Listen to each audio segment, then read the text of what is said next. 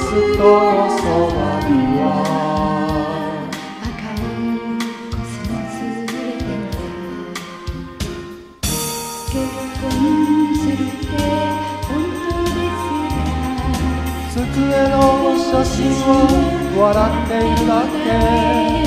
ほんの小さな出来事で別れて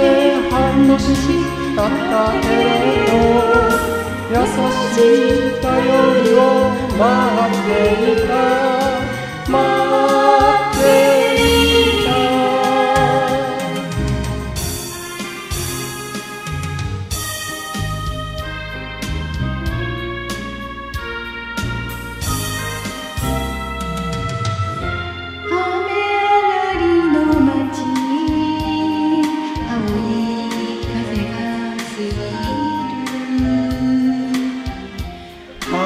花屋の店先の